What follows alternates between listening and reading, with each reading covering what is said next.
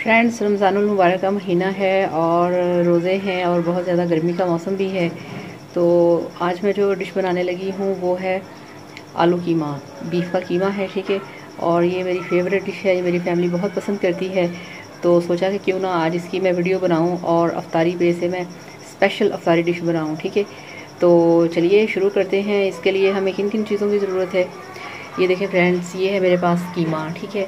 ये बगैर हड्डी के कीमा है, मगर आप इसमें हड्डी लाजमी डलवा लिया करें, ये बहुत अच्छी और टेस्टी होती है, और एक पीस इसमें चर्बी का भी डलवा लिया करें। चर्बी के बगैर कीमे का टेस्ट बिल्कुल भी नहीं आता, ठीक है? और उसके लिए ये हाफ़ के जी मेरे पास आलू हैं, ठीक है? एक किलो कीमा है और हाफ़ के जी आलू हैं, ठीक है? और वो आपको नज़र आ रहा है प्याज और टमाटर, ठीक है? ये मैंने इनको रफली काटा हुआ है, क्योंकि हमने इसको प्रेशर में लगाना है। ये है अदरक लहसुन का पेस्ट और ये है जनाब हरी मिर्चें एंड पे डालने के लिए। तो चलिए शुरू करते हैं। मैं हूँ सनम। आपके channel Sanam beauty and health में आपका बहुत बहुत वेलकम है। उम्मीद है कि आप सब खैरियत से होंगे, खुश होंगे। तो फ्रेंड्स, अगर अभी तक आपने मेरे चैनल को सब्सक्राइब नहीं किया तो प्लीज़ मेरे चैनल को सब्सक्राइब कर लें, ठीक है? तो चलिए शुरू करते हैं। ये फ्रेंड्स, शुरू करते हैं। प्रेशर में सबसे पहले हम डालेंगे कीमा। अब इसमें आएँगे ये प्याज और टमाटर कटे हुए, ठीक है? ये डाल देने। और ये है अदरक लहसुन का पेस्ट, ठीक है?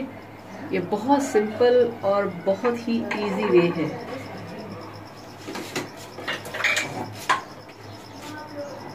अब इसमें जाएगा एक चम्मच लाल मिर्चों का।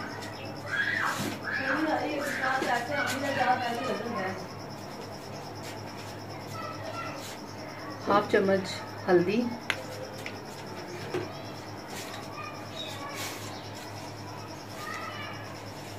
और हाफ़ चम्मच इसमें जाएगा नमक।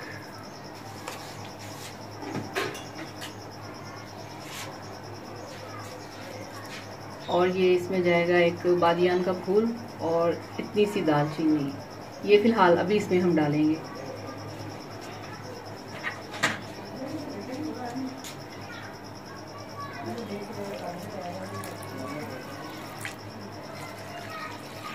तकरीबन एक कप इसमें पानी का डालेंगे।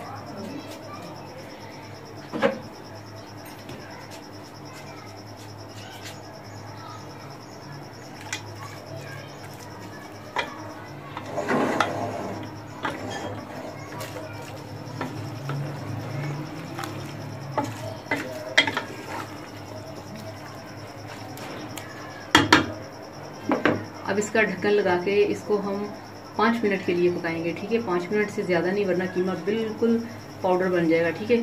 तो मिलते हैं पाँच मिनट के बाद।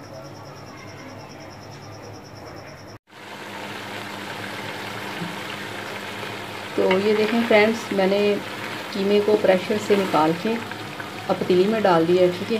तो इसमें अभी ये थोड़ा सा पानी है, ठीक है? तो ये पानी तकरीबन खुश्क होने वाला है, ठीक है? तो अब इसमें मैं डालूँगी कुकिंग ऑयल।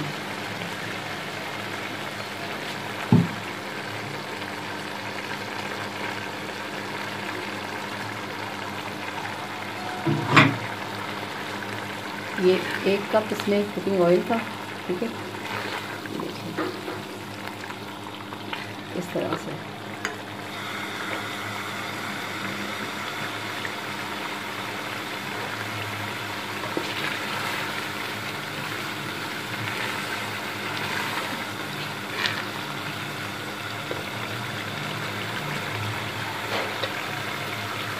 ये बीफ का कीमा है, ठीक है?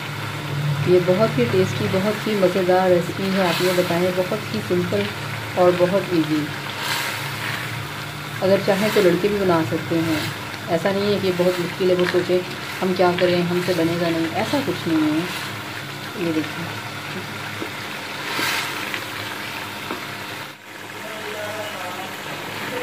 देखें फ्रेंड्स कितनी टेस्टी डिश है, ये देखें तो अब इसको हम मज़ीद टेस्टी और गुड लुकिंग बनाने के लिए इसमें डालेंगे हरी मिर्चें, ठीक है?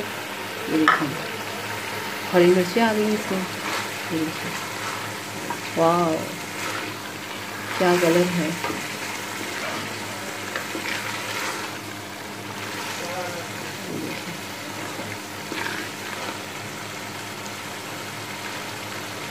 और अब इसी स्टेज पे हम इसमें डालेंगे आलू।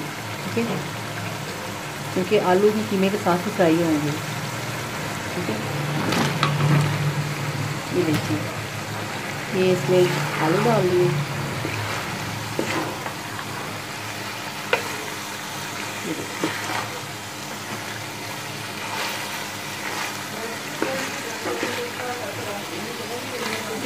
ऐसे। ठीक है? ये देखिए।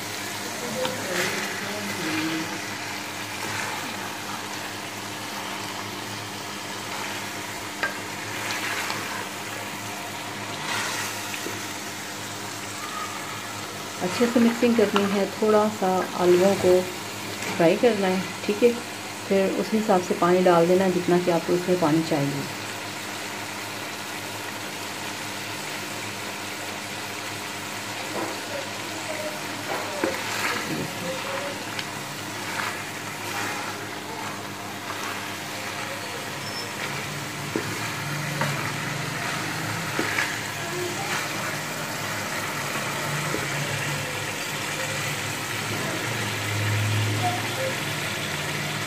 इसमें थोड़ी सी काली मिर्च और ज़ीरा हम डालेंगे एंड पे। अब हम इसमें डालेंगे थोड़ा सा पानी। ठीक है? ऐसे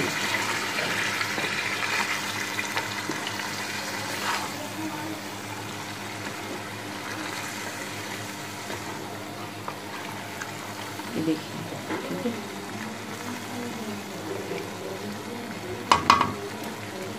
तो मुझे इसमें शोरबा नहीं चाहिए, मुझे हल्का सा ग्रेवी चाहिए, ठीक है?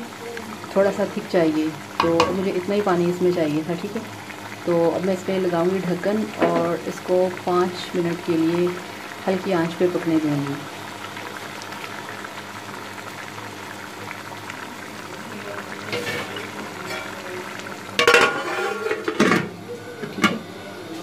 अब ये पकेगा पाँच मिनट के लिए।